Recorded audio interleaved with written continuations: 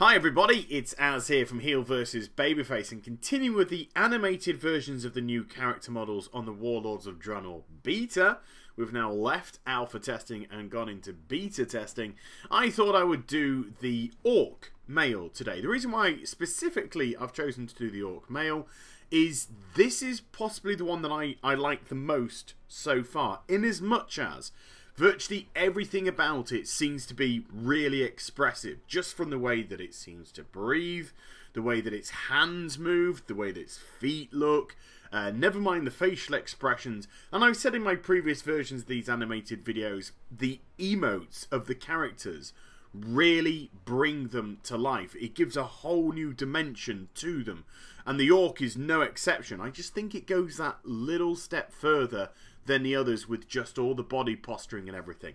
So this is it now on the beta servers. And again, you can see the muscle tone and the skeletal structure and the new undies. Don't forget the new undies. Uh, is just looking absolutely phenomenal. Lots of popping veins. You know, this this is really giving an idea of strength. But I just love the Hulk esque hands. They just, you know, just really kind of reminds me of the Hulk. Some people are still complaining about the hunch over of the orc. They want it to be more upright like Thrall. But I gotta say, I don't have an issue with it whatsoever. I actually quite like uh, it being hunched over.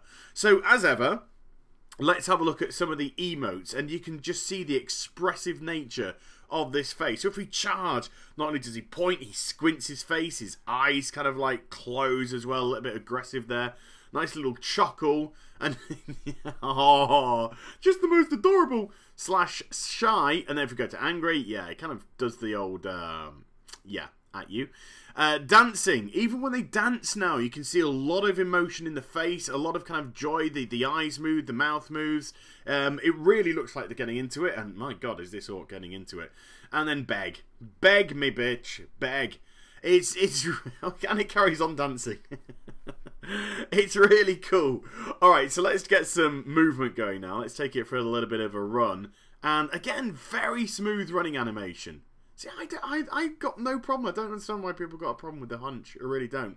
Because its face is nice and up, you know, its shoulders back and its head's up.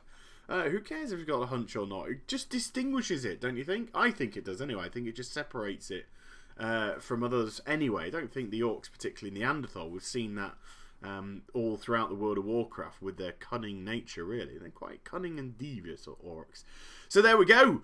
On the move as well. I, I, I think the Male, again, it's just, it's another thing. And this is why I did this video back in January saying new character models can save WoW. And I absolutely stand by it because they are looking immense. But as ever, I'd like to know what you've got to say in the comments down below. And if you enjoyed the video, please do give it a thumbs up and also subscribe to my channel.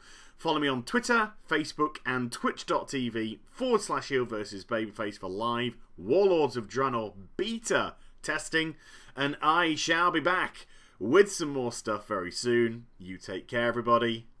Bye-bye.